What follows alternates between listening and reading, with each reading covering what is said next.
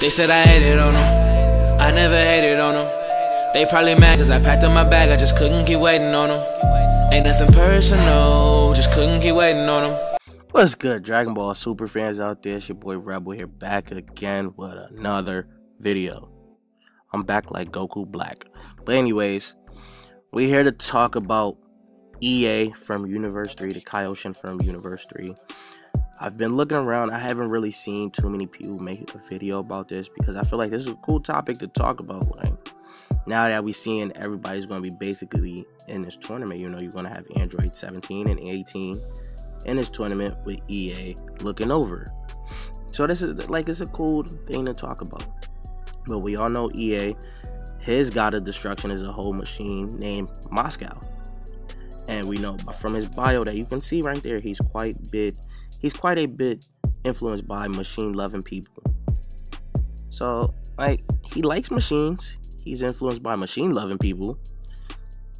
We have some, you know, kind of like machines.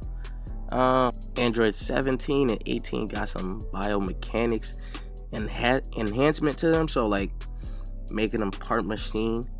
That's why we call them Android 17 and 18. But, anyways, I would like to know what Ea would have seen about them. Like, I would he distinctly like want to know who made them? Like, that would make like that's a way to bring up Dr. Gero again. Give us like more.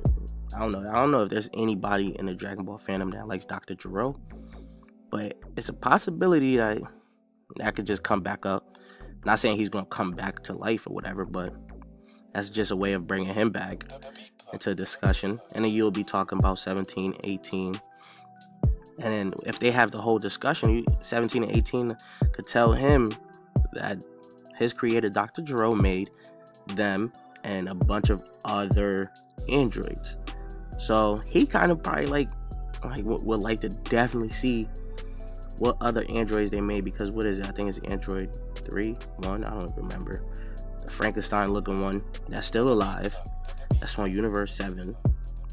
And then we got 18 and 17 Is it's a possibility that he could give them an enhancement or see like how to make well basically see how to make them better by doing an enhancement or just seeing what makes them them and then get to see how you can possibly make more because I'm pretty sure this Kaioshin is definitely will well definitely will be smarter than Dr. Gero.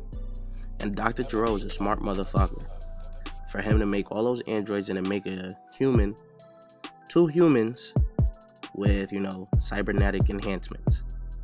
And he is the Kaioshin to Universe 3.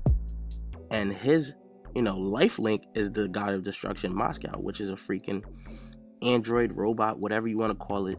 So, like that, it's just a way of just bringing stuff up to connect the universes a little bit more, especially if they don't go through with destroying all the universes. You know, Universe 3 Kaioshin might be intrigued with the Universe 7's to, you know, Androids 17 and 18 and might possibly do something for them, you know, get them stronger, find a way to get them stronger, something, I don't know. But we could get a glimpse on to their universe, especially if they got more characters like, you know, Android 17 and 18. Which there's a possibility. I feel like there's a, a huge possibility that we'll see definitely some androids in this, like, you know, in this tournament. And, and uh, 17 and 18 won't be the only one. But I want to know what you guys think about Ea meeting Android 17 and 18 for the first time. Leave your thoughts in the comment section down below.